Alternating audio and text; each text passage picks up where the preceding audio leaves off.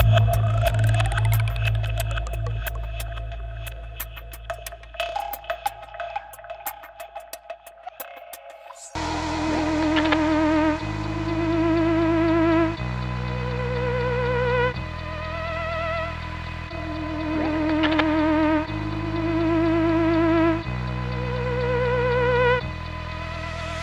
there, it's Joseph here at Edge Dynamics making another shave video on another Sunday and I should have worn sunglasses. I've got extra lighting to stop the strobing and I don't know how that's going to show uh, on the final cut once it's been processed and that but we'll find out. Um, just don't look over there, I don't need to. Right, so the razor, uh, a bit of a story with this one and it could be quite a sad story. Let's get some of this dust off there. Is the um, Bradford, and I'll show you the razor here. And I did the finish the blade off yesterday. A bit of grind marks there. I can't. Well, if I gave more time, I could. I've got two of these. the second one doesn't have the markings it's the exact same razor, same shape and everything. Um, and these razors, um, well I should say the second one, I need to make a wedge. So it's in the workshop, ready to go, just need, I just need to make the wedge. But the scales you can see, um, it's brass lined tortoise and it's totally beautiful. That brass shining through the tortoise get a bit of that light on it. It's not going to work. But um, and basically these were all gunked up and there was green and black and mould and God knows what in there. So I took them apart and I've cleaned up the brass and the brass lining I'd really say they're brass scales because they're it's flat on the inside but like domed on the outside so they really are the scales and I assume they heated it and then dropped the, uh, the tortoise on there to mould around it. But unfortunately I've hit a few issues. Last night um, while I was honing it some water got in there. I don't know if you can see just about there there's a stain. The water got inside between the scales and the brass and it was that was just my heart sank when that happened but um, I mean it's it's tight all the way around. The brass is really tight to the tortoise apart from up here. So I'm thinking on ways of sealing uh, I'll seal all around the edges to make it watertight airtight to make sure no water can ever get between these. Um, and if I didn't mention it's lacquered, I've lacquered the brass so the brass will always have that shine, it will never go dull or you know how brass tarnishes, it will always stay shiny. But another issue that I ran into last night when I was honing it was under the microscope. I noticed um, like rainbow colours on the bevel. And because someone had had to go at this before me. So I mean there was lots of rust and stuff but back in the day someone had had a go at this so I'm thinking that the rainbow colours at the time I was thinking it's probably oil but now I'm thinking what if um, the temper's gone whoever you know had it on a grinder back in the day um, ruined it so I mean I don't know if you can see the bevel. It's the bevel is super fine and straight. Really is nice. And by design of course. Um, so I've got a feeling that it's not going to shave at all and it's completely knackered and all as I can do is save the scales for some other special razors um, and just to take these apart to to get rid of that wart stain take off the tarnish redo everything uh, pin it and then seal it and that's quite that's a big job. So this is a project these things. But um, if it shaves I'll be over the moon. But tell you the truth the more I think about it the more I think that the steel is completely knackered. Um, the tang stamp it says uh, Bradford number 10 Main Street. I think it says Main Street Jeez, that sun got me right in the eye. Yeah, number 10 Main Street, Clonmel. And Clonmel is a town in Southern Ireland in uh, Tipperary, the county of Tipperary. And I got that off Google, as you would have guessed. But um, yeah, at first I thought it was Joseph Bradford because I thought that's all there was was Joseph Bradford. But a bit more research and I found out that Joseph Bradford was 1788, uh, a cutler, and then after him, his family.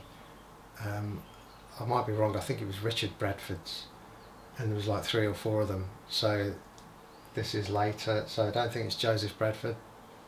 Um, if I'm right, it would they're Richards. It would be a Richard Bradford, because um, I don't think they was doing this sort of thing back in the uh, late 1700s and if it doesn't work I've got a backup there which I'm pretty sure it's not going to work but you guys would know that once again because you've seen the opening.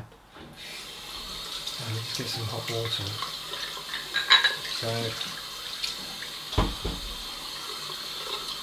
if it shaves I'll be over the moon but I've got to be realistic. Um, actually reminds me of um, painting and decorating. Because when you do painting and decorating, you're mainly fixing someone else's work. And that's what's going on with these razors. I'm trying to fix what someone else did.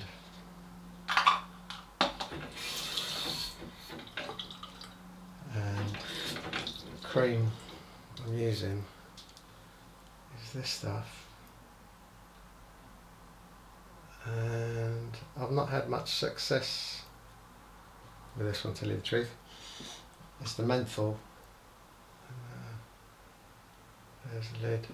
Uh, I've used it two or three times I think and not been impressed. But uh, it's probably down to my lathering skills because I know it's, it's really popular considered a high quality cream. So,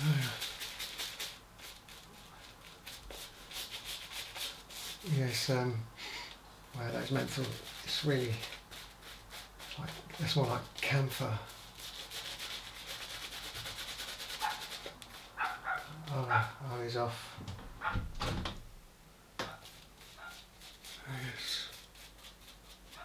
Dog is now part of Edge Dynamics.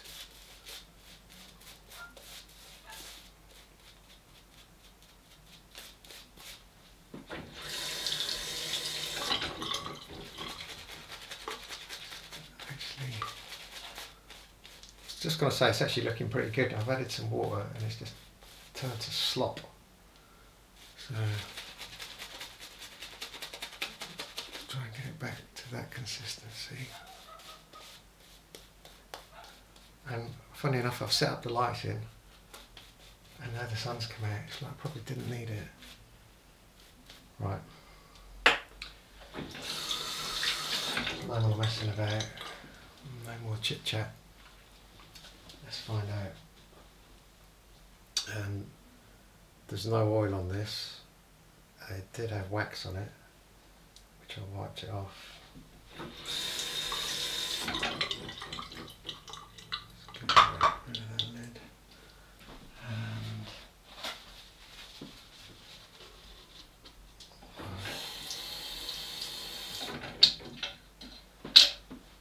And actually considering these are brass, the weight is pretty good. I would have thought this would be unusable really, but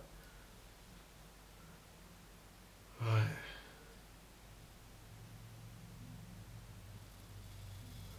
Oh, I was completely wrong. that must have been oil.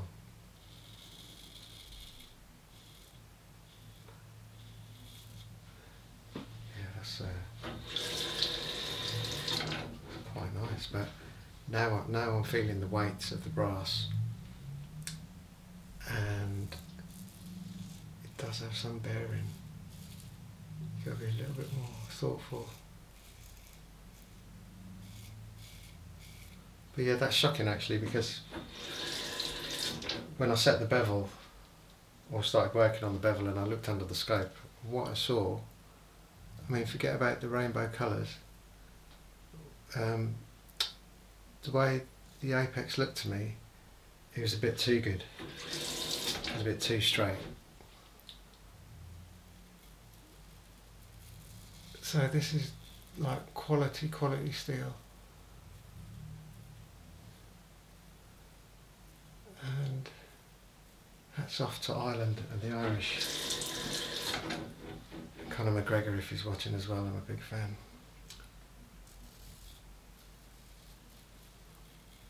Yeah, this is lovely.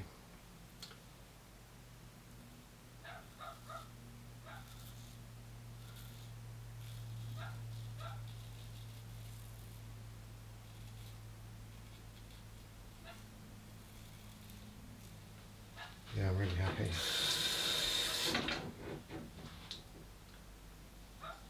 So I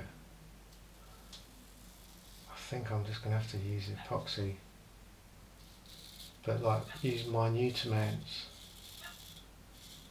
with like a needle and just try and get it in the gap where there's no gap, but just try and seal where the the brass meets the tortoise. Because I mean these will sell on my website one day, could be 10 years from now, but whoever gets them, they don't want to have a shave and see water, you know, between there, because that's it. We know how much damage water can do.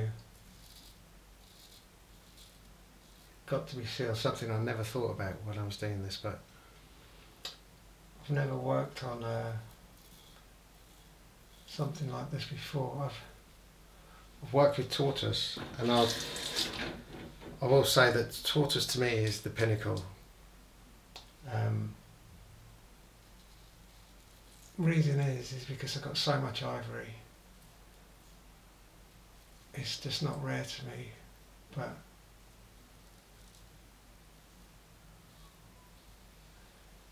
I mean, uh, all right. Let's put it this way: there's pros and cons with everything. I mean, oxhorn, you can't really mess with that stuff. Uh, ivory is something really special. Bone is special.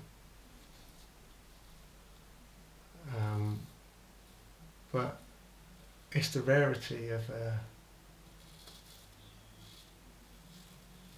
of tortoise So I had a pair of scales on my site before, pair of scales, sorry. I had a pair of razors um, with tortoise, uh, tortoise shell scales, the Giles, which I recently sold. And those were quite unique because I've never seen tortoise that thick before. Um,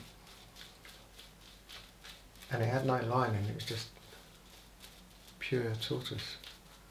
Um, and I've got another tortoise one, but I don't think I'll ever sell that one. It's um because it's really special razor. It's a Charles Piclet, and it's brass lined, but it's just flat brass um,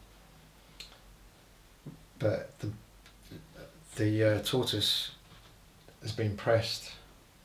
I mean, you'd assume carved, but it must have been pressed. It's really intricate, and it's a beautiful shape. And, and up by the um, up in this area here, there's a this part is missing. And I've been thinking about it for some years about how I'm going to fix that. But I'm in no rush to mess about with it because I know I'm, I will always be mine. But excuse me. Um, thing about it is, is the razor itself is like, I'd have to say, exquisite.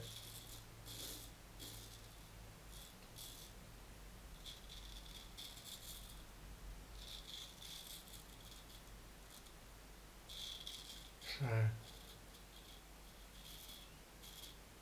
I mean, they didn't use tortoise on um, junk, you know, you're not going to see a gold dollar with tortoise. Not saying gold dollars are junk, because I've actually never shaved with one, so.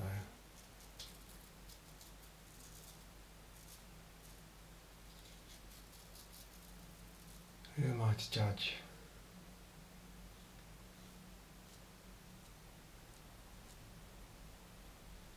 Yeah, this is shaving good. I just wish I would have oiled the blade now, but saying that, I gave it a mirror finish. So there's no, you're not going to get any staining. And I've learnt a few new tricks giving this a mirror finish. Because it seems every time I do my super technique, I have to, you know, do it differently. It's not like, like this is how you do it and you do this for that long and but yesterday I think I uh, levelled up a bit.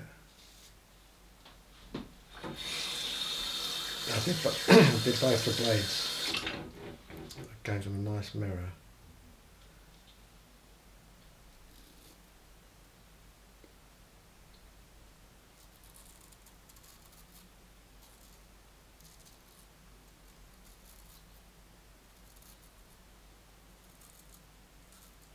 And yeah, the edge is amazing.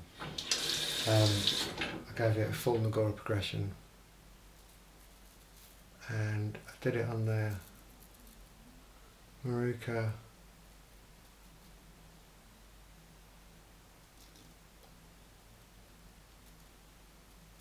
I did have another razor to hone which was a backup.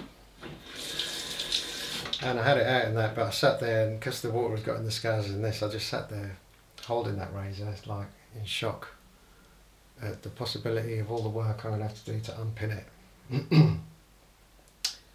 And uh, so I didn't own it I thought oh, no I can't. So I need to clean up and pack up and reassess because everything sort, sort of went wrong last night.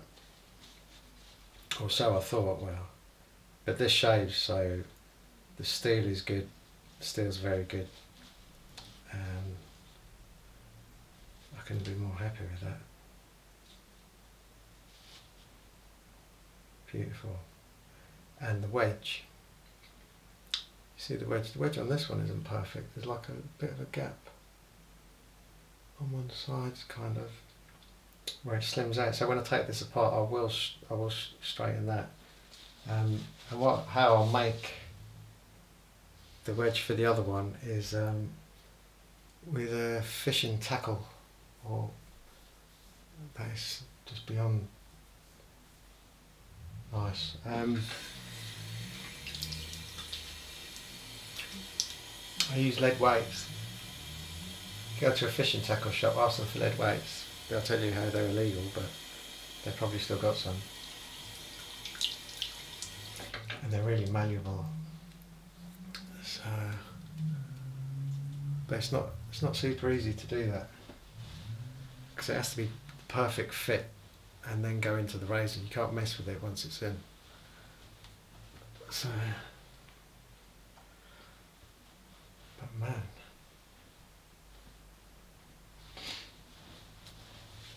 that is really good. Yeah, I can't believe that. I could take a nice photo of that. Although you guys would have seen that at the beginning and you'd know that it worked and that. I was extremely doubtful. Uh, I'll just go with the Karaite face cream because this is the stuff just the smell of it.